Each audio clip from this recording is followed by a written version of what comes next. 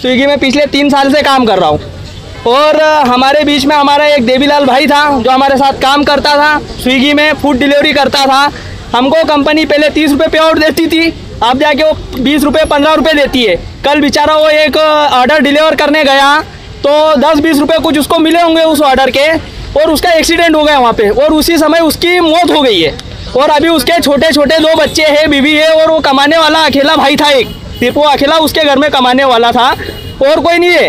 और वो गाँव का रहने वाला, बाहर का। और कंपनी उसकी कोई मदद नहीं कर रही है। यही कारण है। इसलिए हम लोगों ने सबने हड़ताल करी है। और मेरा ये कहना है सभी भाइयों से और सबसे कि भैया उसको जो भी क्लेम मिले, कम से कम उसको ज़्यादा पैसा मिले ताकि उसका परिवार और जो भी फैमिली है, उनको बेचारों को कोई परेशानी नहीं हो, क्योंकि वो तो हमारे बीच अब रहा नहीं।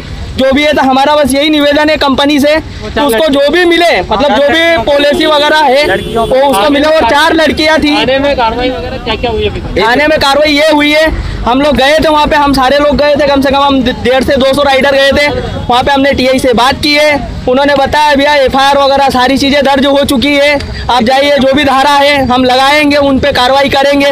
पर प्लस पॉइंट ये है कि उन्होंने जब एक बंदे का एक्सीडेंट हुआ और स्पॉट पे वो मर गया फिर भी उसे रात को ही छोड़ दिया गया है। वो लड़कियों को रात को ही छोड़ दिया गया है तो उसका कारण क्या है? अगर हम लोग अगर कभी कोई सिग्नल तोड़ते हैं तो उसको वहीं पे वहीं पे बिठा लिया जाता है, एक घंटा, दो घंटा।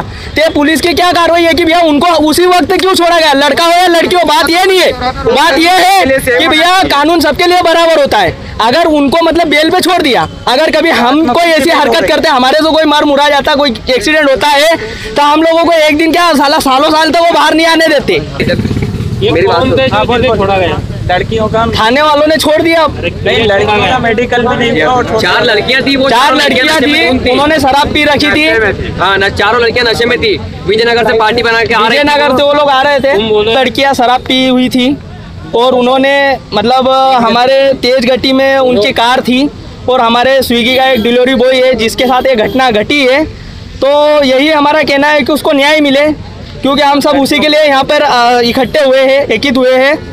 और लड़कियों पे सख्त से सख्त कार्रवाई की जाए। बड़ी से बड़ी कार्रवाई बड़ी से बड़ी की जाए क्योंकि आज हम लोग सब घर परिवार वाले बंदे हैं यहाँ पे किसी का कोई बच्चा है कोई कुंवारा है कोई माँ बाप वाला कोई क्या है हर कोई बंदा इस लाइन में काम कर रहा है। तो मेरा यही निवेदन है कि हमारी आवाज़ हर घर तक पहुँचे और सब लोगों को पता चलना चाहिए कि स्विगी जोमेटो उबेर और ऐसी जो भी कंपनियाँ हैं फ़ूड डिलीवरी इनके राइडरों के ऊपर क्या बीत रहा है। हम लोग ठंड बारिश गर्मी हर समय में कंटिन्यू तीन सौ पैंसठ दिन हम लोग काम करते रात्रि करीब साढ़े ग्यारह बजे के करीब एक हंड्रेड डाल से सूचना मिली थी कि एक एक्सीडेंट हुआ है। आ, मौके पर एक व्यक्ति है जिनकी डेथ हुई है वो मोटरसाइकिल से थे। उनके साथी ने एफआईआर लिखवाई है। अभी उनका पीएम वगैरह करवा दिया गया है। सामने से कार में चार युवतियाँ थी जो युवती जो है कार चला रही थी।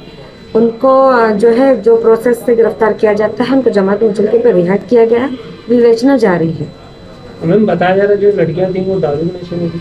उसमें हम लोगों ने मेडिकल करवाया है और क्योंकि क्वांटिटी वाली बात कुछ आ नहीं रही है यह ज़रूर है कि स्मेल जो है वो बताई जा रही थी उसके आधार पर धारा बढ़ाई गई हाँ, अभी क्या इस कार्रवाई की जाएगी इसमें चूँकि बच्ची का लाइसेंस नहीं था तो पिता को नोटिस दे के वो कार्रवाई की जाएगी, जो कि मोटर व्हीकल के एक्ट के अंतर्गत और आईपीसी के अंतर्गत आती है।